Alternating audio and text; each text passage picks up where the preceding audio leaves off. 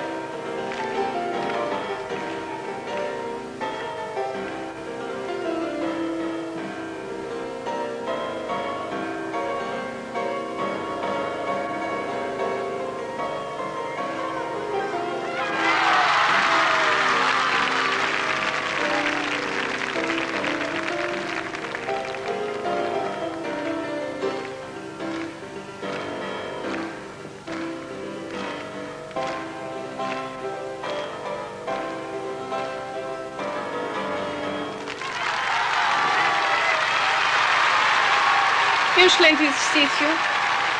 Ela deve obter a nota máxima, o que não, no entanto, não a fará ficar na primeira posição. A ginasta está emocionada, como se pode ver. É natural. Foi uma competição bastante cansativa e talvez seja a última grande prova que esta ginasta, em que esta ginasta entra.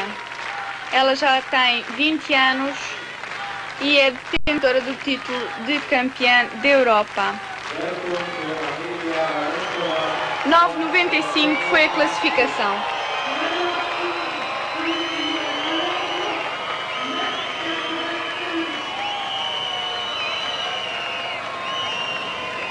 E faltam-nos duas ginastas nesta final de fita. São elas Dalia Kutkait, da União Soviética, e Doina Staiculescu, da Roménia.